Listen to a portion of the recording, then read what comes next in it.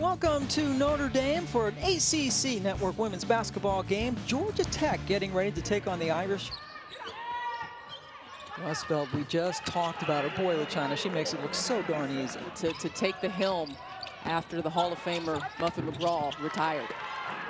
Dara Mabrey with the runner. of It, and is also a pretty good passer from there as well. And what a pass by Westbeld. Here we go. Can Notre Dame end this quarter on a high note? It has not been a good quarter for them. Westbeld, yes. Right over her outstretched hands. Fletcher just picked up her second foul. Westbeld with the little lefty hook.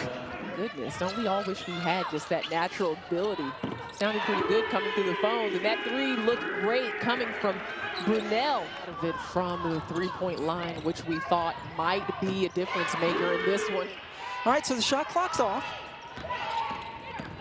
Mabrey trying to draw the foul, doesn't do that, but gets the basket. Shot clock now at five for Mabrey. She steps back and hits it. To get that shot off. Boy, and she has range on range. Walker with the pick.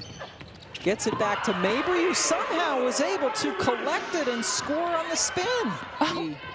Out of Knoxville is really impressive. Mabrey. Watman's been quiet lately, and then it's taken away by Peoples. Notre Dame scores on the break. It's Destinee Walker. Nice, drew the defense. Westbeld out of the game. Yep. Walker. They need a shot. It's got to come from Cubaj, and it's off the rim. Notre Dame hangs on.